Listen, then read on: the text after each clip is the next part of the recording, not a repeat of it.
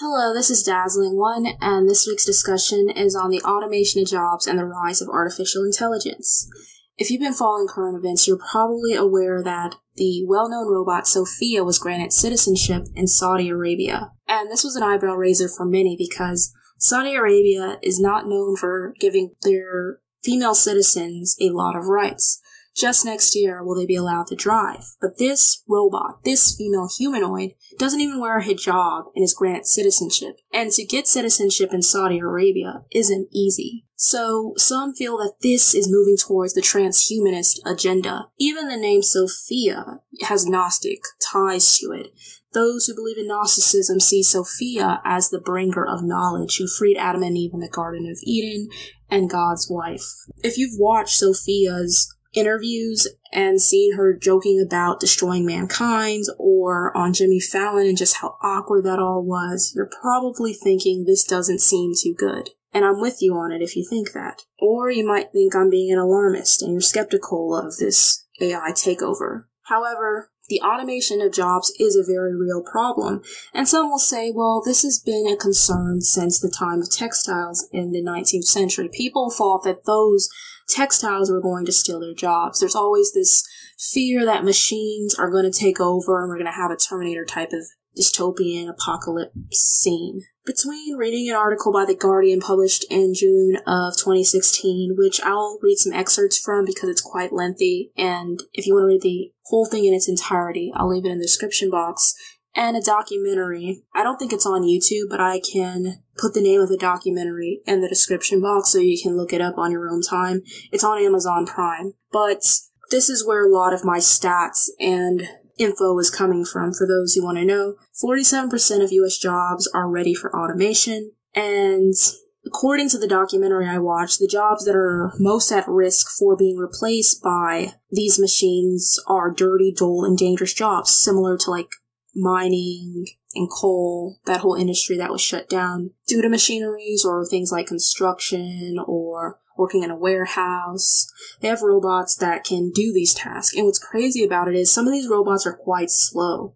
You actually could have people doing that job rather than the robot. However, a lot of these companies are trying to compete with companies across seas, and their excuse is that, well, if we create policies to slow down this artificial intelligence takeover, pretty much, that we're going to have to pick up our jobs and move them elsewhere to other nations. So that's less jobs for people here in the United States.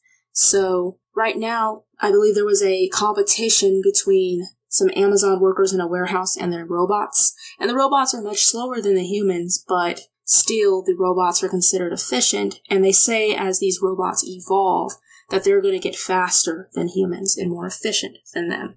But according to The Guardian, it takes a different outlook, not looking at like factories and dirty and dull jobs that are more blue collar, but even looking at white collar jobs. And what they deem to be jobs that are most at risk is rather interesting. And Martin Ford, futurist and author of Rise of the Robots, Technology and the Threat of a Jobless Future, explains that jobs that are most at risk are those which are on some level routine, repetitive, and predictable. So here it's routine, repetitive, and predictable rather than dirty, dull, and dangerous. Telemarketing, for example, which is highly routine, has a 99 percent probability of automation according to the Future of Employment report. You may have already noticed an increase in irritating robocalls tax preparation, which involves systematically processing large amounts of predictable data, also faces a 99% chance of being automated. Indeed, technology has already started doing our taxes. H&R Block, one of America's largest tax preparation providers, is now using Watson, IBM's artificial intelligence platform. Robots will also take over more repetitive tasks in professions such as law, with paralegals and legal assistants facing a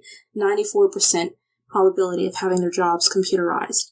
According to a recent report by Deloitte, more than 100,000 jobs in the legal sector have a high chance of being automated in the next 20 years. Fast food cooks also face an 81% probability of having their jobs replaced by robots like Flippy, an AI powered kitchen assistant, which is already flipping burgers in a number of CaliBurger restaurants. Now, that part made me kind of laugh a little bit, despite how grim it is, because in a stream I did, I had a guest on, Jarvis Kingston, and he mentioned it was week two, but I had him on and I asked him about it in more depth. He mentioned that there were robots, Donald, helping with the food. But it's not just jobs like being a fast food worker or working in a factory. It's even being a lawyer. That is something you go to school for for about eight years. That is soon to be automated. And what's crazy about all of this is that by the year 2025, one computer will have the capacity of one human brain. By 2045, the same robot will have the capacity of all human brains. And this is done through way of machine learning and algorithms. So we see that these robots are going to evolve and get more intelligent with time. What I found even crazier and this is for jobs that are safer. According to The Guardian, jobs that are safer involve genuine creativity, such as being an artist, being a scientist, developing a new business strategy, Ford notes, for now, humans are still best at creativity, but there's a caveat there. I can't guarantee you that in 20 years a computer won't be the most creative entity on the planet. There are already computers that can paint original works of art. So, in 20 years, who knows how far it's going to go. The second area is occupations that involve building complex relationships with people, nurses, for example, or a business role that requires you to build close relationships with clients. The third area is jobs that are highly unpredictable. For example, if you're a plumber who is called out to emergencies in different locations. You can see these parameters at play in the jobs the future of employment identifies as at least at risk of automation, which include recreational therapists, first line supervisors, or mechanics, installers, repairers, occupational therapists, and healthcare social workers. While being in a creative people focused industry may keep your job safe for the next 10 years or so, it's very hard to predict what will happen 20 years into the future. Indeed, Susskind stresses that we should be wary of downplaying just how much computers might change the working world. She says she believes that the 2020s are going to be a decade not of unemployment, but of redeployment. Beyond that, however, the picture is far less clear. I don't think anyone can do a long-term career planning with any confidence, as Susskind notes. We make assumptions about the indispensability of human beings, but machines are already doing things we thought only humans might be able to. They're composing original music, for example, and beating professional players at complex board games with creative moves. They're even helping us with our relationship with God, while the clergy only has 0.81% probability of automation according to the data from the future of jobs, Susskind believes even algorithms might one day replace the ordained. As he notes, there are already apps like Confession which offer drop-down menus for tracking sin. With all of that, while they're saying that those jobs are safe, they're also letting you know that machines are getting more intelligent, as I mentioned with the machine learning, and I remember even a couple of years ago shadowing a urologist, and I didn't shadow her when she was in the operation room. I was on clinical rotations with her. But she mentioned how robots were, were going to help with the surgery. So we have robots doing surgery, robots doing CAT scans, and they're going to implement them in every part of society. And the fact that there are going to be robots that some will go to for their priest, I'm sure there will be some that people will go to as pastors in Protestant churches. It's just rather gloomy if you ask me the big question with this transhumanist agenda is what's the end goal? And so, you know, many of us, we get called conspiracy theorists because we believe that this is going to create a society very much like a science fiction novel, very dystopian, where you have this widening gap between the rich and poor, the destruction of the middle class, the robots can't really be taxed if you think about it, if they take everybody's job. And they produce excess resources for the elites and the wealthy, whereas regular people are out of jobs. Will that lead to sterilization? Will this lead to scenarios similar to films like In Time, where they try to limit people's time on Earth who are the have nots?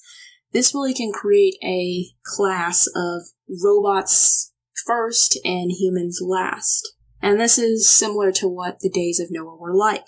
Now, some will try to say, well, what if we implement an income for just being alive? But do you really think they would implement an income just for being alive when there are people right now who are working two to three jobs and are still struggling to make ends meet? And I know this all is rather gloomy and eerie, but I do believe this is all a part of what it means in the Bible as things being as the days of Noah. And I'd like to know you guys' thoughts on this matter. I hope you enjoyed this video. I'll talk to you next week. Have a wonderful week. Take care and God bless.